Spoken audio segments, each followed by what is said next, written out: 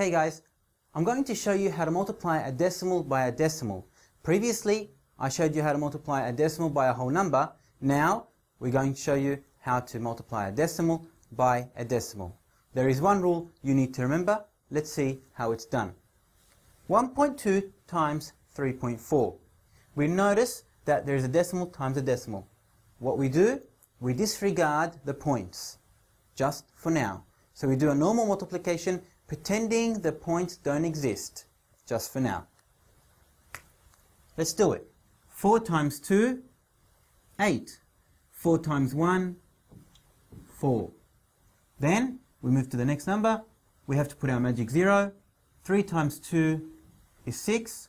3 times 1 is 3. Now, what do we do next? What do you think? We have to add them up. 8 plus 0 is 8. 4 plus 6 is 10. We carry the 1. 1 plus 3 is 4. So we've got our answer. However, we said we disregard the points just for now. Now that we've got a solution, we need to go back and see and follow a certain rule. The rule says that whatever number of decimal places are in the question have to be in the answer. Meaning, if there are two decimal places in the question, that means there has to be two decimal places in the answer. Now, before I move on, remember, decimal places are different to decimal points. I've had too many students mix up between points, decimal points, and decimal places.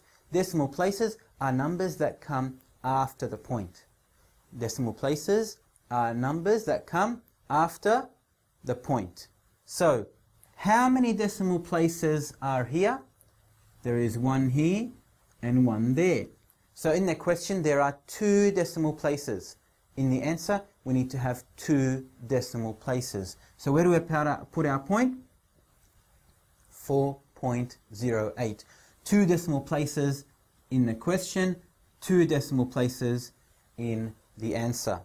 So, I repeat, two decimal places in the question, two decimal places in the answer. If there was three decimal places in the question, three decimal places in the answer. If it was five decimal places in the question, five decimal places have to go in the answer. That's the rule. Let's do another one and you'll get the hang of it. We have 0.25 times 1.7. 0.25 times 1.7. We disregard the points for now. Let's do it as a normal multiplication. 7 times 5, 35. 7 times 2, 14. Plus 3, 17. Carry the 1. 7 times 0 is 0. Plus 1. We put our 1. Then we put our magic 0 because we're going to the next number. 1 times 5 is 5. 1 times 2 is 2. And 1 times 0 is 0. And now we add them up. 5 plus 0 is 5. 7 plus 5, 12. Carry the 1. 1 plus 1, 2. And plus 2 is 4. And we can put our 0 just for now. We ask ourselves the question, how many decimal places are there in the question? There are one, two, three decimal places in the question, which means there has to be three decimal places in the answer. One, two, three, 0.452. So, we complete our multiplication as normal. We go back and ask ourselves how many decimal places are there one, two, three decimal places in the question. That means there has to be three decimal places in the answer. One, two, and three. Hopefully now the picture has become better. Now let's look at the next one and see how it's done. We have 0.6 times 0.3. Follow with me, and I'm pretty sure you've got the hang of it by now. We disregard the points. We do our normal multiplication. 3 times 6,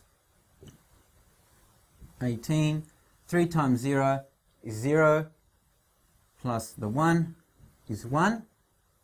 Now 0 times 6, 0, we don't need to do that because that's basically all going to be 0. So our answer is 18, however we have decimal points. So we know that we have to have the same decimal places in the question, the same decimal places in the answer. We ask ourselves how many decimal places are there in the question. There is one decimal place there, another decimal place there. So there are two decimal places in the question, which means two decimal places in the answer. One, two, we put our point, 0.18. Two decimal places in the question means two decimal places in the answer. Then we have another example, 0.09 squared. And we learnt squared means times itself. So 0.09 times 0.09. Let's see how this is going to be done. 0.09 times 0.09. Let's do it. 9 times 9 we know is 81. 9 times 0 is 0, plus 8 is 8. 9 times 0 is 0. Now, we can keep going, but we know we're going to get zeros all the way. 0 times 9, 0 times 0, 0 times 0. Same thing here. So there's no point keeping going. We know 0, 8, 1. Now, we go to our rule and we say, how many decimal places are there in the question? In the, in the question there are 1, 2, 3, 4 decimal places in the question. 1, 2, 3, 4 decimal places in the question. We know decimal places are the numbers that come after the points. 1, 2, 3, 4. 4 decimal places in the question, meaning 4 decimal places in the answer. 1, 2, 3, 4. There they are. 1, 2, 3, 4. 1, 2, 3, 4. 1, 2, 3, 4. Four decimal places in the question and in the answer and four decimal places in the question. So our final result 0.0081.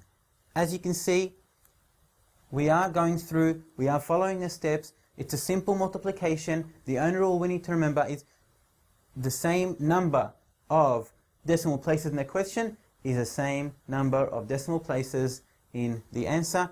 We did one, two, three, four examples, and you may want to watch it again to get used to it. And the more you practice, the better you're going to become.